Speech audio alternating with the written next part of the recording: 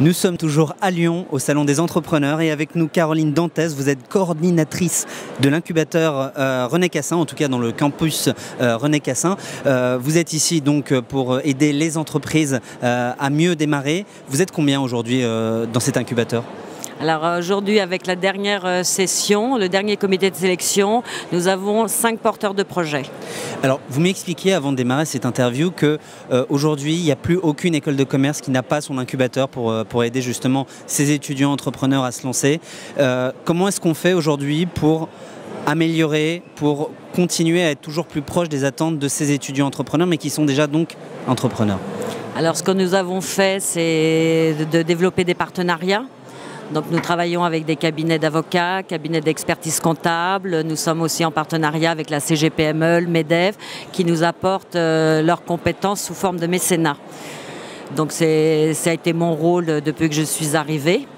Et donc on essaye, euh, grâce à ça, de leur euh, établir un planning avec tous les ateliers euh, qui vont les aider à pouvoir créer leur entreprise. Alors des ateliers sur l'accompagnement sur la gestion, sur la communication, sur ce genre de choses-là? Tout à fait, tout à fait. Ils ont des ateliers juridiques pour qu'on puisse leur parler des différents statuts, d'expertise comptable pour les aider à créer leur business plan.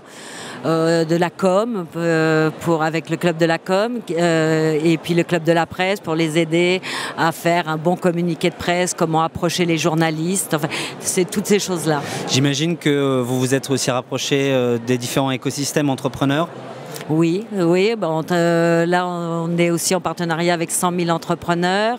Euh, on se rapproche euh, aussi de, Cordée, enfin différentes personnes avec qui on peut faire des échanges et des apports de compétences. C'est quoi la prochaine étape pour, l'incubateur? C'est un gros événement? C'est la multiplication de, des ateliers, des locaux plus grands?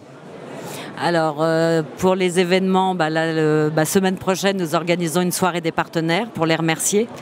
Euh, en profiter aussi pour mettre en avant euh, nos jeunes porteurs de projets qui marchent très très bien, tels que Takeaway, ces deux hommes. Et puis, plus grand, oui, nous allons avoir plus grand lorsque nous aurons notre extension qui va, être du campus qui va être faite en juillet 2017. Donc effectivement, là, il y, aura, euh, y aura un espace beaucoup plus grand qui leur seront dédiés. Et puis toujours plus de partenariats, oui, bien sûr, c'est ce qu'on leur recherche afin de pouvoir les aider de plus en plus. Pour aider et pour accompagner les entrepreneurs, il faut être soi-même entrepreneur. Merci à vous, euh, Caroline Dantez. Je le rappelle, vous êtes coordinatrice euh, de l'incubateur du campus, du campus René Cassin. Et nous sommes toujours ici au Salon des entrepreneurs de Lyon. Merci à vous. Merci beaucoup.